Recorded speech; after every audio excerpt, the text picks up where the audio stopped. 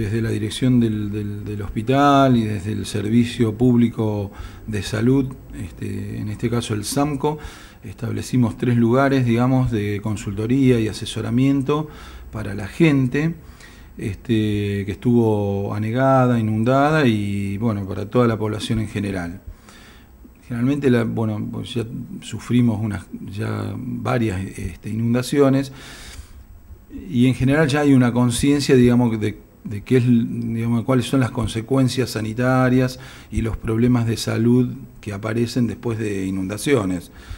que como que la gente ya lo tiene bastante mm, incorporado eso. Eh, y bueno, eh, en, ese acercamiento de la gente, fundamentalmente la pregunta de la profilaxis este, para leptospirosis, que bueno, en, otras ocasiones hubo este, casos, incluso algunos casos fatales en la, en la localidad. Y ya, bueno, la población viene a, pedir, digamos, la profilaxis, que son, bueno, se hace con, unos antibióticos que se, estuvieron repartiendo en estos tres lugares, y bueno, y todo el asesoramiento sanitario que se hace de la limpieza, de este, lavado de, la casa después que, estuvo negado con, agua y cloro, de la ventilación, del desmalezamiento, o sea, todas las medidas del uso de guantes, del uso de botas, del uso de, mm, todos los elementos que protegen, ¿no es cierto?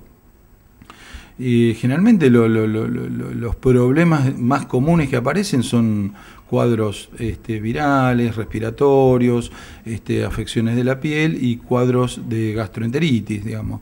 Eso es lo más común, que no es lo más grave, digamos. Lo más grave, este, un poco como hablamos antes, es el tema de leptospirosis y algunas otras enfermedades transmisibles, digamos, a través de lo, del agua contaminada como puede ser la hepatitis, digamos.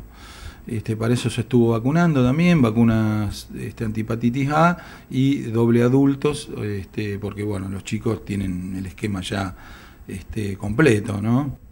Vimos fotos de vecinos que mostraban la presencia de alacranes en las casas. ¿Recibieron alguna consulta en el SAMCO con respecto a ese tema? Sí, consultas recibimos, pero digamos consultas para asesoramiento, digamos, para, para preguntar, digamos, qué es lo que pasaba.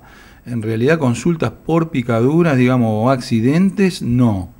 Eh, hasta ahora, bueno, nosotros acá con, el resto de los colegas establecimos con los médicos de guardia un protocolo de, de trabajo, digamos, este, ante la posibilidad de algún evento, digamos, de picadura de alacrán.